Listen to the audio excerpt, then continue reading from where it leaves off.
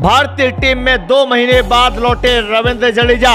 रविंद्र जडेजा ने आते ही गेंदबाजों के परखच्चे उड़ा के रख दिए और युवराज सिंह के छह गेंदों पे छह छक्कों का वर्ल्ड रिकॉर्ड था। उसको भी तोड़कर लगातार सात गेंदों पे सात छक्के उड़ा दिए और मात्र इक्कीस गेंदों का सामना करते हुए 108 रन की तूफानी नाबाद पारी खेल डाली और सबसे फास्ट 100 रन ठोकने का वर्ल्ड रिकॉर्ड भी बना दिया। दोस्तों, साउथ अफ्रीका से भारतीय टीम दोनों सीरीजों में हार गई थी, चाहे वो टेस्ट सीरीज़ हो या फिर टी सीरीज़ हो। उसके बाद दोस्तों, भारत और वेस्ट इंडीज के बीच में अब तीन वनडे मुकाबले खेले जाने हैं पहले तो जिसमें पहला वनडे मुकाबला 6 फरवरी को खेला जाएगा। नरेंद्र मोदी स्टेडियम अहमदाबाद में दोपहर को एक बजे से।